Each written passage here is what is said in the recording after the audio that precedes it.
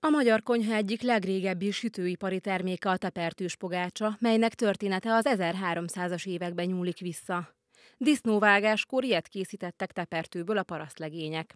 A középkor második felében vált azonban igazán ismerté, esküvőkön és más jelentősebb eseményeken is ezt kínálták.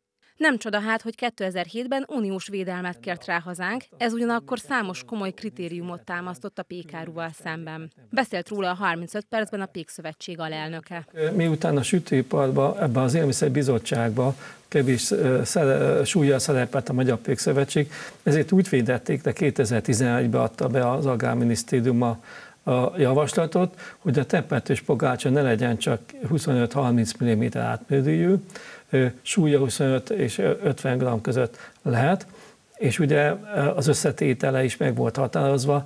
Egy legnagyobb fájdalmunk az volt, hogy meghatározták a, a, a zsírtartalmot, önnek a felső határát, ez 25 lisztszervetítve, ez 25-30 százalék lehetett. Sok helyen ezért nem is nevezhették ezt követően tepertős pogácsának a korábban így hívott terméket.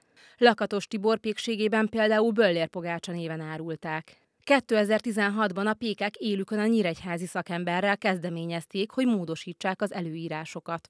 Azt kérték, hogy ismét lehessen 25 és 100 mm közötti a pékáru átmérője, és ne legyen a zsírtartalomnak felső határa, arról a pékségek maguk dönthessenek. A jó minőség érdekében azt ugyanakkor fontosnak tartották, hogy legalább 60%-ban tepertőből kelljen készülnie. A több mint négy éves eljárásnak idén február elején került pont a végére. Az Unió határozatban engedélyezte a szigorú szabályok enyhítését, szabadabb kezet adva a pékségeknek, amelyek ezt követően el is kezdtek finomítani a recepten.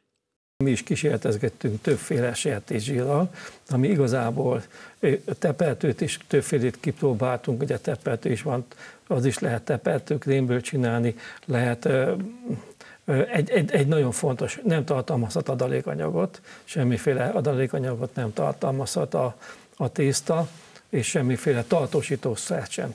De miután ugye nagyon magas a tepető által a zsírtartalom, tehát ez két-három napig is ilyen marad a termék, hiszen nem tud kiszáradni a magas zsírtartalom miatt.